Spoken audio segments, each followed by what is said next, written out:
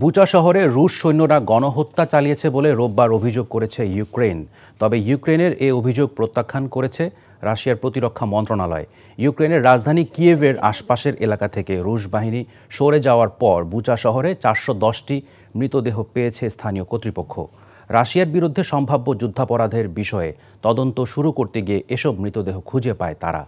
বুচায় বেসামরিক লোকদের হত্যার অভিযোগে মস্কো বলেছে সেখানকার কোনো বাসিন্দাই রাশিয়ান বাহিনী সহিংসতার শিকার হয়নি। উল্টো এই বিষয়ে কিয়েভকে দোষারোপ করে রাশিয়া বলছে, পশ্চিমা সংবাদ মাধ্যম ব্যবহার করে উস্কানিমূলক সংবাদ ছড়াচ্ছে ইউক্রেন।